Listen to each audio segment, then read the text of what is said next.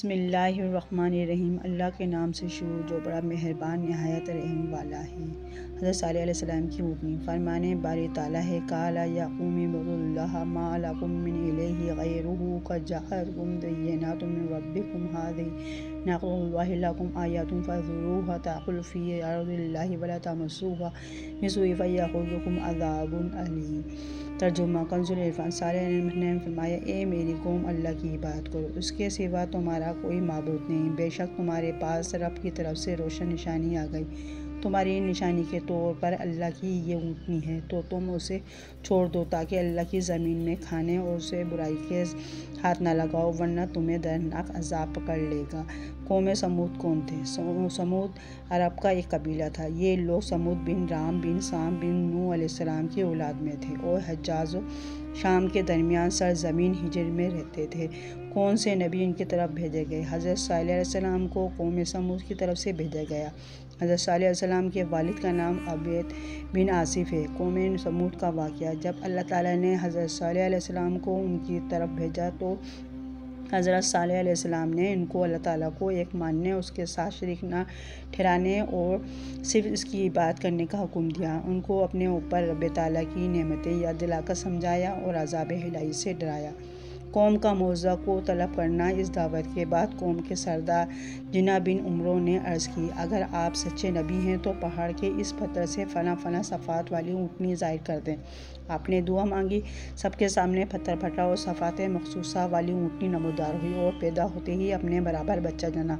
मुआवजा देखकर कौन ईमान लाया? ये मुझे देखकर जिना तो अपने ख़ास लोगों के साथ ईमान ले आए, जबकि बाकी लोग अपने वादे से फिर गए और कुफर पर कायम रहे। ऊँटनी के बाद बारे में हिदायत हज़रत सलाम ने ऊँटनी के बारे में फरमाया कि तुम उसे तंग ना करना, उसे उसके हाल पर छोड़ दो, उसे बुराई की नीयत से हाथ ना लगाना, ना मारना, ना न हटाना और न कत्ल करना, वरना तुम्हें दर्दनाक अजाब पकड़ लेगा। ऊँटनी की पैदाइश से हज़रत साल के मौजाद इस ऊँटनी की पैदाइश से हज़रत साल के कई मौजाद ज़ाहिर हुए। नंबर एक, वो ऊँटनी ना किसी पेट में, ना हमल में रही, बल्कि तरीके आदिया के ख़िलाफ़ पहाड़ के एक पत्थर से इसकी पैदाइश हुई।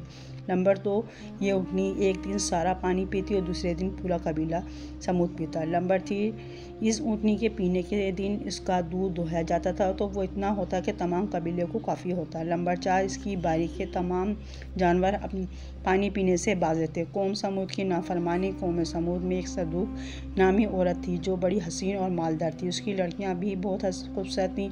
उसने मजदा इबन दहर और केदार बिन सालिफ को बुलाकर कहा कि अगर तुम ऊँटनी को ज़िबा कर दो तो मेरी जिस लड़की से चाहो निकाह कर लेना। चुनाचा दोनों ने मिलकर इस ऊँटनी को ज़िबा कर दिया। मगर केदार ने ज़िबा किया और मजदा ने ज़िबा पर मदद दी और फिर हज़रत सलाम से कहने लगे, अगर तुम रसूल हो तो हम पर अजाब ले आओ कौम समूद पर अजाब? उन्होंने बुध के दिन ऊँट की कोचें काटी थीं। हज़रत साल ने फरमाया, तुम तीन दिन के बाद हलाक हो जाओगे। पहले दिन उनके चेहरे जर्द, दूसरे दिन सुर्ख और तीसरे दिन सियाह हो गए। फिर वो लोग इतवार के दिन दोपहर के करीब ओलन होलनाक आवाज़ में गिरफ़्तार हुए, जिससे इनके जिगर फट गए और वो हलाक हो गए। इनकी हलाकत के बाद हज़रत सलाम मोमिन इनको साथ लेकर मक्का मोज़ में रवाना हो गए। अगर आपको मेरी ये वीडियो अच्छी लगी और आप चाहते हैं कि मैं और आपको वीडियो दे सकूँ तो मेरे चैनल को सब्सक्राइब करें।